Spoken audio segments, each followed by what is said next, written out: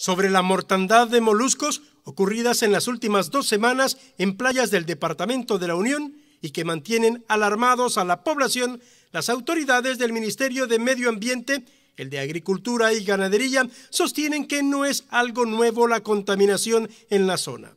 Sin embargo, aún están analizando e investigando cuál es la fuente que ha provocado esto, aunque hay algunas hipótesis que han analizado.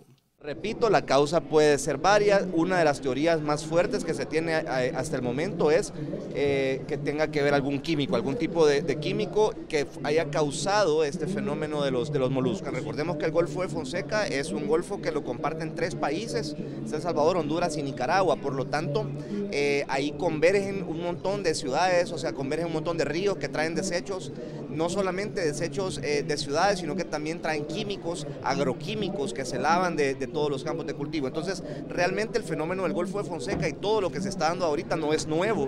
Esto no es un problema que se ha generado hace poco, sino que son décadas, son muchos años de contaminación eh, acumulada en este caso. Que se está investigando, ya los técnicos de CDP que están desde hace tres días, cuatro días desde que salió el, periódico y se anunció de los, el problema de los moluscos, el MAG está actuando, ya mandaron a los técnicos, se están analizando los animales eh, y todo y esperamos tener resultados para ver qué es lo que ha pasado.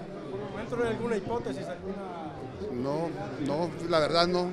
Esperan que al final de esta semana hayan resultados concretos de las muestras de laboratorio.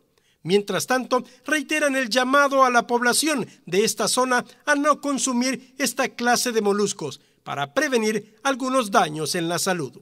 La recomendación es, como medida de precaución, abstenerse de consumir cualquier tipo de molusco que venga de esta zona del Golfo de Fonseca. Claro, la, gente de esa zona que tenga mucho cuidado de no consumir los animales muertos, que se los vayan a vender. Pero de ahí en otras áreas todavía no hemos declarado nada. Por hoy, Medio Ambiente descarta que se trate de marea roja, mientras pescadores de la zona sospechan de derrames de productos químicos.